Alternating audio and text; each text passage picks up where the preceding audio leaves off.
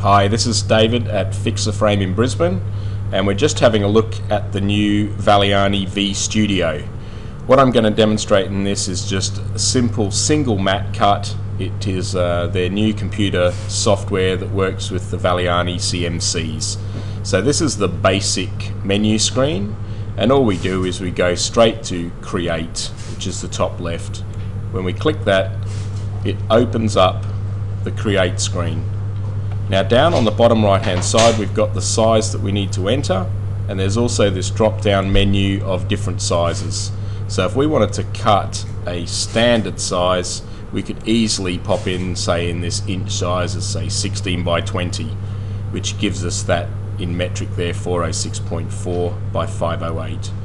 It's quite easy then to set the width that you'd like your mat board so in this case let's set it to 60 millimeters all round and in the case where you wanted the bottom to be wider you can just enter that wider size on the bottom.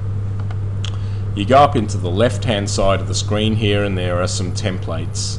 Now in this video we're just looking at cutting a single mat board so we're going to pick that normal rectangle. So we click on that once and it's opened this window within the board itself. We can see the opening size up here in the top and there is only one mat and it's going to be a normal cut. And this little thing here the 40 is the 40 degree green head from the front. But if you wanted to change that you can come to the side here and pick from the different heads that the machine has. So if you pick this one it would do a 90 degree straight cut. If you pick the 45 degree face down blue head that would cut from the back or the 40 degree standard head with the Valiani will cut uh, face up with the 40 degree. So we'll leave it at the 40 degree. Now normal cut, you can choose reverse cut, you can choose V-groove, Decor is drawing a line and debossing is debossing a line on the board. But for this example we're just going to use normal cut so that means the board is going to go in face up and we've got one layer of mat board. If you wanted to make it a double mat, you could click the second one here and then you've got different settings to make your double mats wider or smaller. But all we're doing is a single, so here's the single mat. That's then ready to cut. So all we need to do is go over to this little cut icon. The cut icon there, you click that once and it takes you to the smart cut screen. Now you can use the smart cut function to just do standard cutting but uh, I like to do them in the create function and then bring them into Smart Cut.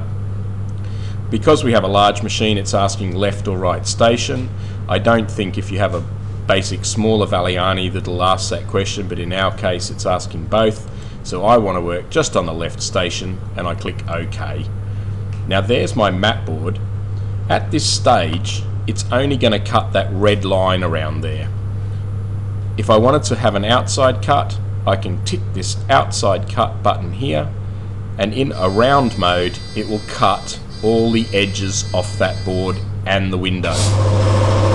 If I need to cut a uh, just want to trim to the edge of the board these little blue spots here are actually our clamps and what we do is we uh, we can use linear or L mode, but linear means it's going to cut this outside cut in a line here and a line here cutting away from the clamps.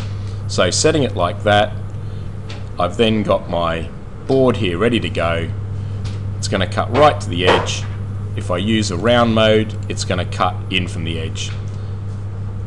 All I need to do once I've got it where I want it to cut is hit cut and then it says load my material and press start to cut I click the start button which is actually on the Valiani machine itself and the cutter's going to move over and ask me to set the heads here.